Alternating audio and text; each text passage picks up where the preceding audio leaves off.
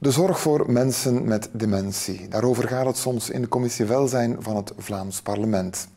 Afgelopen weken nog zijn daarover vragen gesteld aan de Vlaamse minister van Welzijn, die er zelf eind oktober nog een symposium over heeft gehouden in het Vlaams Parlement. En hoewel het doorgaans om oudere mensen gaat, zijn er ook die ermee geconfronteerd worden op jongere leeftijd op een leeftijd dat ze nog een huis moeten afbetalen of studerende kinderen hebben. Doet de overheid genoeg voor hen? Ik vraag het aan meerderheid en oppositie en aan een expert. Dag dames en heren, ik praat met Freya Saïs, Vlaams parlementslid voor Open VLD en lid van de commissie Welzijn, Volksgezondheid en Gezin. In die commissie zit ook Vlaams parlementslid Elke van den Brand, maar dan voor de partij Groen. En nog hier aan tafel Jurgen Verschragen van het expertisecentrum Dementie Vlaanderen. Welkom allemaal in onze studio. Ja, Jurgen Verschragen, voor wie het expertisecentrum niet kent, wat is zijn taak? Wat is de bedoeling van het centrum? Wel, het eh, Expertisecentrum Dementie Vlaanderen is eigenlijk een erkende partnerorganisatie, erkend door de Vlaamse overheid om dementie bespreekbaar te maken. Vooral ten aanzien van professionals, maar evengoed naar iedereen die met dementie in Vlaanderen te maken heeft. En als je zegt bespreekbaar maken, ja, dan denk ik, is een beetje een taboe om erover te praten en daar moeten jullie aan werken?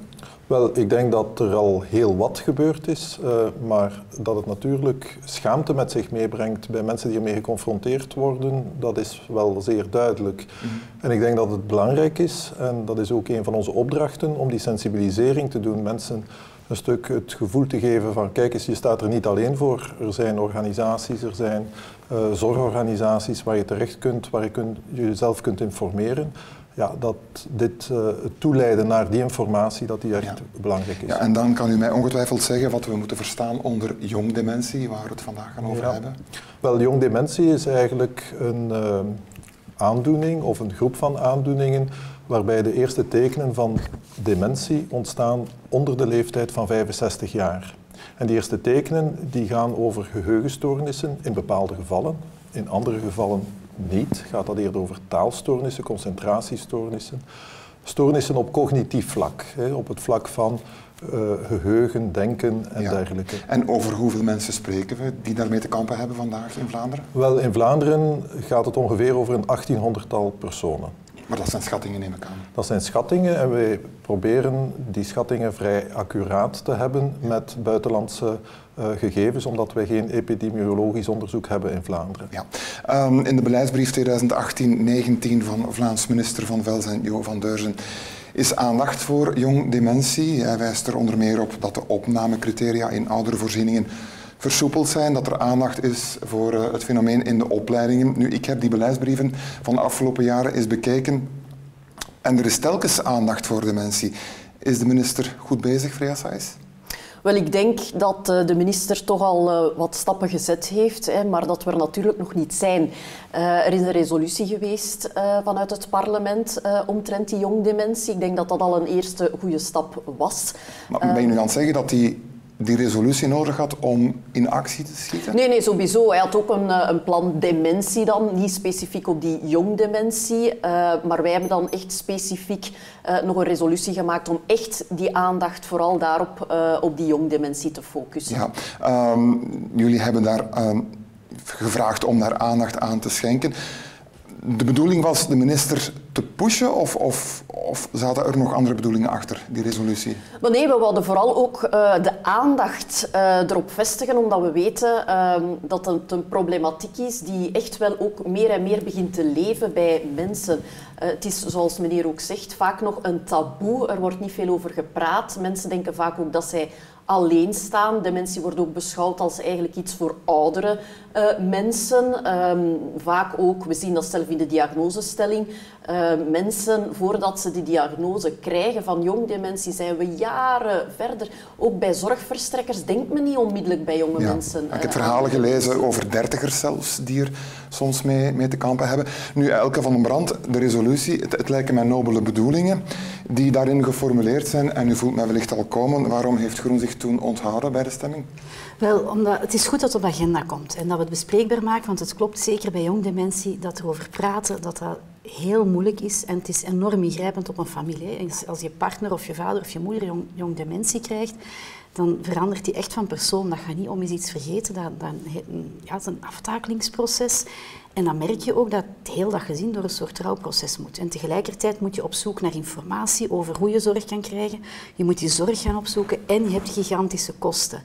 En dat werd allemaal in die resolutie heel mooi benoemd. Maar dat is niet genoeg. Er moeten oplossingen komen. En die lagen op dat moment eigenlijk niet op tafel. De oplossingen zijn van ja, hoe gaan we zorgen dat er een aanbod is voor die mensen, dat er opvang is voor die mensen, dat die enorme kosten, want veel van die mensen moeten naar een woonzorgcentrum. Dat kost ja, 1500, 2000 euro per maand. Dat dat betaalbaar blijft voor een gezin waar dat je ook nog een, een huis hebt af te betalen, kinderen die studeren enzovoort. En we vonden dat in de oplossingen daar te weinig was. Maar weinig financiële toezeggingen? Op dat moment wel. Ik wil zeggen, er is intussen een stapje gezet. Dus intussen hmm. heeft de minister... Daar gaan we het straks over hebben. Maar op dat moment was het voor jullie voldoende om te zeggen van kijk, we gaan ons onthouden. We gaan, eh, we gaan het niet uh, steunen. Ja, een probleem benoemen is, is niet genoeg. Je moet een probleem dan ook aanpakken en oplossen. En dat vonden wij op dat moment te weinig. Ja, um, die financiële toezegging is, is, is nodig, lezen we ook de afgelopen weken en maanden in, in, in getuigenissen van mensen die, die een jong dementen in, in het gezin hebben en moeten inderdaad dan een, een uh, opvang betalen in een woonzorgcentrum, moeten op dat moment hun huis afbetalen, hebben studerende kinderen. Ja, het is niet de dochter die op kot gaat voor enkele jaren, het is meestal ja, tot, tot het einde dat men in dat woonzorgcentrum uh, zit. Um, een, een, een term die we misschien eerst voor de kijker moeten duiden is het persoonsvolgend budget. Heel kort, wat is een persoonsvolgend budget? Eigenlijk is dat, dat een systeem dat we hebben voor mensen met een handicap. Dat vroeger eigenlijk de voorzieningen gefinancierd en dan moesten mensen met een handicap, ja, daar waar dat er plaats was, moesten ze gaan. Maar soms betekende dat mensen eigenlijk liever in hun eigen omgeving zouden wonen en met persoonlijke assistenten uh, die helpen om naar het werk, de winkel of weet ik veel wat te doen, om, om gewoon in het leven te staan, maar die eigenlijk noodgedwongen naar een voorziening moeten. Of andersom, mensen die een voorziening wouden, dat er geen plaats was naar een andere voorziening. Is er gezegd, voor eigenlijk moeten we dat geld dat er is niet aan voorzieningen hangen, maar aan de mensen hangen. Ja, dus mensen krijgen een enveloppe en kiezen dan zelf waar ze het aan besteden. Of hun omgeving. Dat is het eh, idee. Ja. Nu was het op het moment van de resolutie niet mogelijk om die engagementen ook financieel al op te nemen in die tekst van de resolutie, want u heeft daaraan meegeschreven, hè, mhm. samen met ja, parlementsleden van de meerderheid alleen mhm. maar. Waarom was dat op dat moment niet mogelijk om die, ja, die financiële voorzieningen toch al in de resolutie op te nemen? Wel, natuurlijk, ja. Uh, wij geven uh, natuurlijk met een resolutie vragen wij vooral ja, de minister, eigenlijk de Vlaamse regering, om die punten uit te voeren. Maar natuurlijk, ja, de concrete invulling, ja, die gebeurt dikwijls door de Vlaamse regering zelf. Het hangt natuurlijk ook af van de budgettaire mogelijkheden. Je had het natuurlijk wel kunnen vragen in die tekst van de resolutie. Hè. Voorzie geld, voorzie centen, mm -hmm. er eventueel een bedrag op plakken. Dat is niet gebeurd? Nee, dat is niet gebeurd. wij verwachten natuurlijk vanuit de Vlaamse regering dat daar wordt gekeken wat inderdaad de mogelijkheden op dat moment zijn.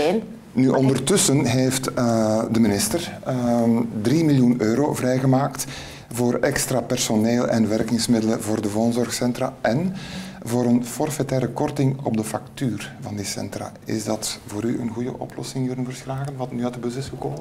Wel, ik denk dat dat een eerste goede stap is. Hè. Uh, ik denk dat uh, het water aan de lippen stond van de families die ermee geconfronteerd worden en werden. En dat zij ook naar de media gestapt zijn met hun persoonlijk verhaal. En dat heeft er eigenlijk voor gezorgd dat uh, de minister en ook de andere Vlaamse parlementsleden die het thema genegen zijn, gezegd hebben van ja, hier moet wel echt iets gebeuren. En de minister heeft ook die mensen uitgenodigd, heeft ook met ons een gesprek hierover gehad.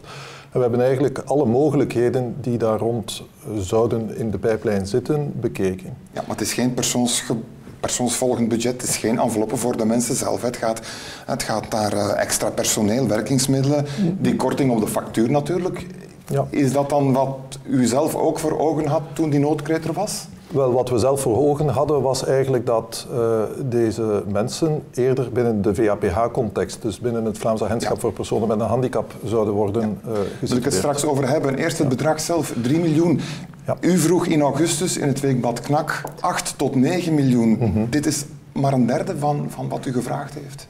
Goed, daarom dat ik ook zeg dat het een eerste stap is. Hè. Uh, ik denk dat we hier te maken hebben met een ondersteuning voor mensen die in een woonzorgcentrum wonen Wat we natuurlijk ook wel wensen, is dat mensen die in de thuissituatie zich bevinden, dat daar ook verder ondersteuning kan gegeven worden. Maar ik denk dan bijvoorbeeld ook aan dagverzorgingscentra en uh, kortverblijf. Maar moet het budget nog, nog naar omhoog als we vandaag 3 miljoen zien en u zelf tot de berekening kwam 8, 9 miljoen is nodig? Moet het hoger?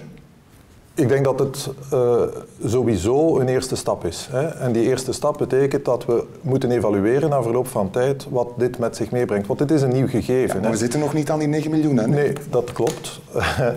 maar Rome en uh, de weg naar Rome is ook niet op één dag gelegd. Hè. Dus ik denk dat we, en ik, ik, spreek hier ook niet namens onszelf als organisatie, maar ook namens de mensen die eigenlijk uh, vandaag zeggen van kijk eens, als we dit niet oké zouden vinden, ja, dan is het ook weinig realistisch en weinig geloofwaardig. Dus zij zijn zelf heel tevreden dat op het ogenblik dat zij de stap zetten richting een zorgcentrum, dat daar een financiële tussenkomst gebeurt. En door middel van die korting op de factuur. Door middel van de korting op de factuur, dat is één element. En een tweede element is natuurlijk uh, dat er een ondersteuning kan zijn van het gezin zelf. Hè. De mensen hier aan tafel hebben ook duidelijk aangegeven dat uh, en dat is ook zo, dat er dus een enorme uh, stress is bij de familie, omdat zij elke dag moeten zien dat zij het redden. Eén, omdat zij een job vaak moeten opzeggen om, omwille van de zorg die er thuis ja, gezinnen vallen op één inkomen plots. Uh, voilà, en, en, je moet geen hogere wiskunde gestudeerd nee. hebben om te weten dat dit financieel toch wel heel erg zwaar is. Ja, en moeten met één inkomen dan die woonzorg van 2000 euro per maand, ik zeg maar iets, uit te betalen.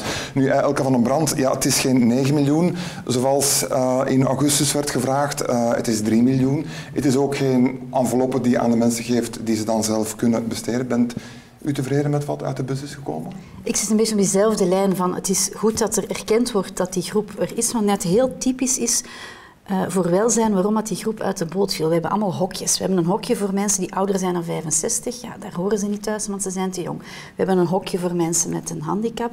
Daar zijn ze niet alleen niet toegelaten, maar de minister heeft zelfs heel expliciet een besluit geschreven om ze daarvoor tegen te houden. Om het heel duidelijk te maken. Dus ze worden heel bewust daar weggehouden. Is de minister geweest? Want het was toch het Vlaams agentschap voor personen met een handicap die tot de conclusie komt, het is een psychische aandoening, het is geen handicap. Ja, en de minister heeft heel expliciet een besluit op de regering genomen om het duidelijk te maken van deze doelgroep valt eruit, omdat er discussie over was. Had hij kunnen afwijken? Hij had ook kunnen zeggen om die groep op te nemen, omdat je eigenlijk heel hard kan aantonen dat deze mensen, dat, dat is echt een, ja, dat is een fysiek tastbaar gegeven, die jonge mensen. voor een goed begrip, en die had op het moment dat het een handicap zou zijn, erkend zou zijn als een handicap, dan komt men wel in aanmerking voor dat persoonlijk budget. Ja, en dan zou je daar, maar daar zijn ook nog veel, maar dat is een ander debat, ook daar moet nog veel in veranderen, maar het is een bewuste keuze en dat is jammer. En dus nu gaan we terug een apart hokje maken voor deze mensen. En het is goed dat er iets is. Hè. Ik wil dat absoluut beklemtonen.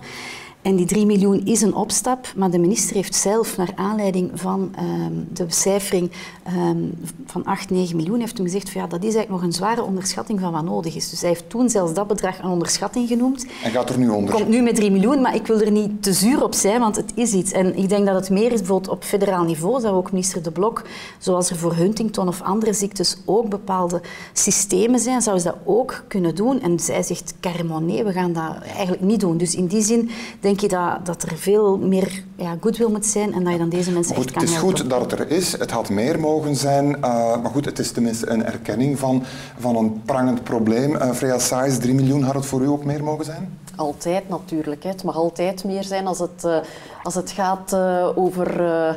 Zeker ook over jongdementie. Het is een problematiek die natuurlijk veel verder gaat uh, dan dat. En ik, ik uh, kan alleen maar beamen dat dit een, uh, een, eerste stap is, maar dat we inderdaad... Goed, strikt genomen gaat het niet rechtstreeks naar de mensen, nee, maar nee, naar nee. de instellingen, de, ja. de, voorzieningen. Ja, klopt inderdaad. Maar zoals men heeft gezegd, hè, we hebben op dit moment ook nog geen oplossing voor mensen in de thuissituatie. en vandaar dat eigenlijk ook ons voorstel altijd geweest is vanuit Open VLD van kijk, mensen moeten een persoonsvolgende financiering krijgen. Een eigen rugzakje waarmee dat ze zelf kunnen kiezen welke zorg En dat is het zij vandaag nog hebben. niet. Nu, vandaag u, is er dat ook niet. Ik, ik, wil ervan profiteren van het feit dat u behalve parlementslid ook een arts bent. Um, de discussie gaat dus over de vraag, is het een psychische aandoening of is het een handicap? Um, ik, ik, lees in de standaard onder meer uh, Elke van den Brand die zegt, ja, eigenlijk is het een functiebeperking.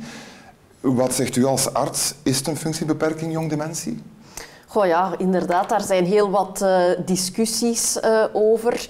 Maar goed, u heeft daarvoor gestudeerd. Wat, wat, zegt u dan? Ehm, ja, in, in C, in mijn ogen is het ook zeker en vast geen, allee, lijkt mij toch ook geen psychiatrische uh, aandoening. Ehm, maar een functiebeperking. Toch wel. En ja, zo'n handicap. Ja. En dus gaat men een persoonsgebonden budget kunnen toekennen. Ja, absoluut. Je mist de kans dan toch wel een beetje? Goh, ah, wel, um, in mijn ogen, of het het persoonsvolgend budget er dan komt uh, binnen uh, de, het, het, statuut van uh, mensen met een beperking of een persoonsvolgend budget, wat dat we ook wel gaan de volgende legislatuur voorzien in ouderenzorg. In, in mijn ogen is het systeem op zich waarin dat het belandt minder belangrijk dan het krijgen effectief het van het, het gebeurt. Voilà, ja, inderdaad ja, ja, dat het gebeurt. Nu, een aantal suggesties um, die ik dan lees uh, gaan over fiscale aftrekbaarheid. Uh, Jeroen Verschragen, zou dat een oplossing kunnen zijn? En wie vandaag zijn kinderen naar de kinderopvang uh, brengt, ja, die kan die kost fiscaal aftrekken.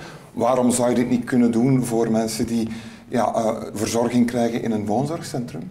Wel, dat is een van de pistes die inderdaad ook op tafel lag op een bepaald ogenblik. Omdat een van de mensen die met de problematiek geconfronteerd wordt, zelf een partner had die jaar en dag in de Verenigde Staten uh, heeft gewoond. En waar dit uh, mogelijk is. En uh, ja, de vraag is ook gesteld geweest aan minister Van Overtveld in welke mate dat dit een piste zou kunnen zijn. Ja, want dan moet het inderdaad, inderdaad federaal geregeld worden. Absoluut. En daar is het antwoord negatief geweest. Dus in die zin was dat geen piste meer en geen optie meer zeker op korte termijn niet meer. Want ik zeg het, het gaat over hoe kun je zo snel mogelijk mm -hmm. iets gaan bereiken voor deze doelgroep. Is het toch iets om over na te denken in de toekomst? Een fiscale aftrekbaarheid van die kost? Ja, en nee, het nadeel ervan is dat je dan ook vooral weer op die woonzorgcentra gaat. Zoals is aangehaald, moet eigenlijk naar een systeem dat mensen zelf kunnen kijken van wat is nu de beste ondersteuning. En, daarvoor en dat rugzakje zelf gaan besteden. Is daar een goed model. En dan wordt er gezegd, ja, maar er is te weinig geld. En ik word daar een beetje krekelig van. Want de overheid zegt, ja, we zullen zien wat er kan binnen de budgettaire context. Dat is altijd het, het mantra. Um, nu, politiek gaat om keuzes maken, dat is de essentie van politiek, en om kiezen waar dat je wel budget aan geeft. En tegen mensen zeggen die zelf met enorme klap worden geconfronteerd omdat iemand jong dementie heeft, maar ook de praktische aspecten, maar ook de, de zorg zoeken en zelf echt financieel tegen armoede aankijken, want daar gaat het echt vaak om, dan zeg je, ja, sorry, de overheid heeft geen geld dat zeggen, trek je plan tegen mensen. En dat vind ik niet, geen optie. En dus ik word daar een beetje lastig van, van ja, we gaan zien wat we in de toekomst kunnen doen en we zullen nog wachten.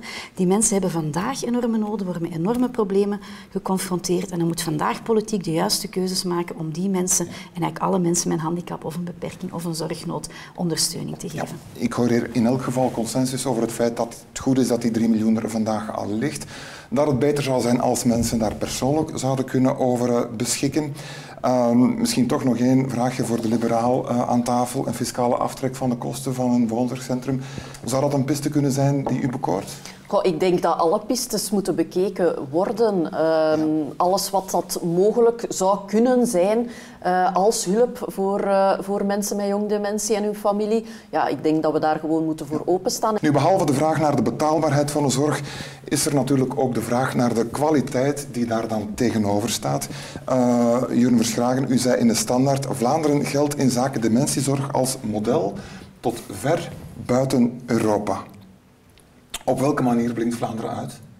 Wel, ik denk dat we zeer recent nog, uh, vorige week, een uh, referentiekader gelanceerd hebben.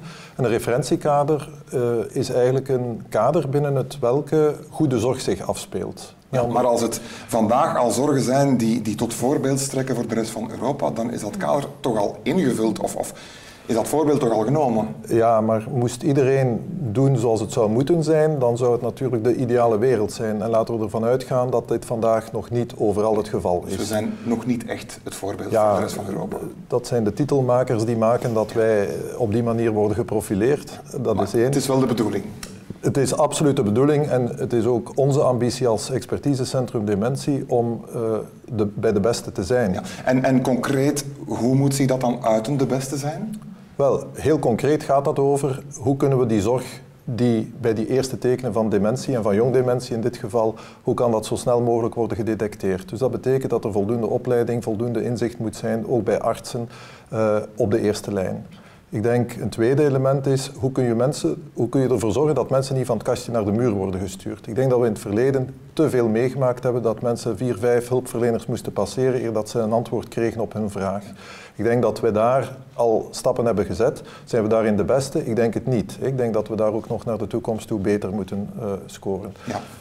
Een derde element is denk ik uh, ja, de wijze waarop dat uh, dementie bespreekbaar wordt in deze samenleving in al zijn facetten. Zowel in de beginfase, die eerste tekenen, als later in zelfs het eindstadium. Ja, dat was een van de taken die u zelf over uw eigen expertisecentrum heeft geformuleerd. Het bespreekbaar maken. Ik hoor zeggen, uh, Freya Sais, die eerste lijns uh, informatie bij de huisarts, mhm. dat bent u ook. Wordt daar vandaag onder huisartsen nog te weinig aandacht aan geschonken? Goh, ik denk eh, vooral ook um, dat ja, het, het herkennen uh, van uh, dementie bij jonge patiënten vandaag inderdaad nog een, een probleem is. Um, vaak koppelen wij dementie aan oudere mensen en vaak ook zijn de symptomen niet gelijklopend met dementie die we, die we zien op oudere uh, leeftijd. En vandaar dat het vaak ook gemist wordt, dat men het vaak afschuift op stress, uh, op depressie uh, of relationele problemen, waardoor dat mensen dan medicatie gaan krijgen, maar dan toch zien dat het niet helpt. Maar wil dat zeggen dat, dat de opleidingen tot huisarts, dat, dat daar toch wel meer aandacht moet gegeven worden aan, aan het fenomeen? Ja, sowieso denk ik wel in, over dementie algemeen mm -hmm. eigenlijk ook. ik denk dat daar sowieso iets meer aandacht wel naar kan gaan. Ook omdat we zien, ja, de problematiek neemt ook alsmaar toe. En in de toekomst uh, ja, voorspelt men toch ook een enorme toename. Ja, Nu, dus- ehm, er zijn natuurlijk dingen die vandaag wel al goed lopen. Elke van den Brand, ik las onder meer dat de Nederlandse schrijver Arno Grunberg vandaag op een andere manier naar woonzorgcentra is beginnen kijken door in Gent twee weken in zo'n centrum te verblijven, te observeren, daarover te schrijven. Er is vandaag al veel goed ook. Er zijn een aantal heel mooie projecten. Hè. Een aantal woonzorgcentra die, die stappen zetten. Je hebt bijvoorbeeld in, in Brugge, waar ze echt proberen om in heel de wijk dementievriendelijk te zijn. Dan gaat het niet enkel om het, om het rusthuis zelf, maar ook gewoon dat de bakker op de goede manier met de mensen omgaat, loketbediende van de gemeente. Dus dat er zorg is, dat mantelzorgers ondersteund worden. Dus er is een heel pakket van organisaties. Je hebt in, in Leuven de zorgcirkels, dus er gebeuren mooie dingen. Maar we vaak vaststellen, dat zijn proefprojecten die moeten roeien, rooien en, en hun middelen bijeenschrapen. Maar, maar kan je dat sturen als, als politiek? Want, want het lijkt mij dat dit dan vaak het initiatief van die centra zelf is om met de buurt te gaan babbelen om die contacten te leggen met de bakker, met de, met de, met de groenteverkoper. Kan je dat sturen vanuit de politiek? Toch wel. Ik denk dat politiek keuzes kan maken en op, op verschillende niveaus. Een gemeente kan als, als dementievriendelijke gemeente echt belangrijke stappen zetten zonder dat dat gigantisch veel geld kost, maar gewoon door de gemeente daarmee mee op, op sleeptouw te pakken. Je kan als Vlaamse overheid kan je daar zorgen dat je woonzorgcentra voldoende personeel geeft om ook daarmee aan de slag te gaan. Kan je zorgen dat die expertisecentra goed uitgebouwd worden om dat te verspreiden. Dus eh, kan je zorgen dat die dagcentra, dat die beter, alleen die zorgcirkels, dat die deftige financiering mhm. krijgen. Dus er zijn wel stappen mogelijk die je kan zetten. En er gebeuren zaken. Alleen denk ik van dat we daar wel een turbo op mogen zetten. Zoals uh, mevrouw Saïs zegt, van er komt niet alleen van jong dementie, maar er komt echt een, een ja, dementiegolf aan. Laat ons daar toch goed mee aan de slag gaan. gemaakt, hè, wat, wat, die, wat die golf betreft die eraan komt? Wel ja, vandaag hebben we 132.000 uh, eh, mensen met uh, dementie. En we gaan naar 188.000, dus dat is een stijging van 43 procent uh, naar 2035 toe. Ja, nu um, iets, iets, iets anders in de voorbereiding van dit debat heb ik heel veel gelezen, heb ik heel veel getuigenissen gelezen. Het kan toeval zijn, maar het waren bijna steeds mannen waarover men het had. Is dat toeval of, of is er echt een, een een verschil tussen mannen en vrouwen als het gaat over uh, dementie, jong dementie? Wel, uh, er zijn onderzoeken die zeggen dat er aan de ene kant meer vrouwen zijn. Er is een recent onderzoek uh, in, in de provincie Vlaams-Brabant dat recent gepubliceerd is. En daaruit blijkt dat er meer vrouwen zouden zijn. Er zijn andere onderzoeken die zeggen dat het eigenlijk gender... Het zal, het zal een toeval geweest zijn, de keuze van de, van de journalisten in dit geval. Um, Freya uh, Saïs, u heeft in de commissie Welzijn deze week gevraagd naar meer onderzoek naar het risico bij kinderen en familie uh, van, van die mannen en vrouwen die vandaag mhm. met jongdementie of met dementie uh, te maken hebben. Is dat onderzoek vandaag nog te veel afwezig? Is er nog te weinig onderzoek gevoerd? Moeten we dat nog doen? Wel, we zien vaak uh, dat wanneer een familie geconfronteerd wordt uh, met iemand met uh, jong dementie, ja, dat die kinderen toch ook wel vragen hebben van ja, wat met mij, wat als ik ouder word, heb ik ook meer kans om die te ontwikkelen. En vaak wordt dat een beetje op de achtergrond geschoven en gaat daar eigenlijk in mijn ogen iets te weinig aandacht naar, terwijl dat toch wel iets is dat heel, heel belangrijk is. Uh, Om na te gaan of mensen genetisch belast zijn. Absoluut. Ja, ja. Nu, overigens, u, u, u vraagt ook onderzoek uh, naar dementie bij mensen van niet-westerse origine. Mm -hmm. Zijn er aanwijzingen dat daar extra onderzoek nodig is? Wel, inderdaad. We zien uh, bij niet-westerse bevolking dat daar eigenlijk ja, toch nog onvoldoende gegevens over zijn. Vaak zit je ook met de taalbarrière, met culturele zaken, waardoor dat er ja. inderdaad daar toch nog meer taboe uh, heerst uh, rond die dementie. Ja, extra onderzoek, extra centen. Over dat laatste heb ik trouwens de minister in het parlement horen zeggen dat hij het debat wil voeren. U kijkt naar dat debat uit, neem ik aan? Ja, absoluut. De begroting komt eraan en dat is de essentie van politiek. Want je hebt, er is best wel wat geld in de politiek en mensen betalen vrij veel belastingen. En dan gaat het over wat gaan we ermee doen. Dus dat is de essentie van het debat en daar gaan we vol een bak in gaan. Ja. En we hebben met Groen ook altijd alternatieven neergelegd op die begroting. Om gezegd van je kan andere keuzes maken. Zodat er voor jonge mensen, maar voor heel de zorg, meer budget is. En dat zal absoluut nodig zijn, omdat we in Vlaanderen denk ik nog te veel wachtlijsten hebben, te veel mensen in de kou laten staan. Ja, u gaat de partijgenoten moeten controleren. Hè? De minister van Begroting is uh, Bart Dommelijn van, mm -hmm. van Open VLD. U kijkt ook uit naar wat hij uh, gaat inschrijven voor zorg? Wel, sowieso. Ik denk, het gaat nu al het grootste budget naar de gezondheidszorg. Dat is al een hele hap uit, het, uit het budget en terecht. ik denk dat we absoluut verder moeten blijven investeren in onze zorg.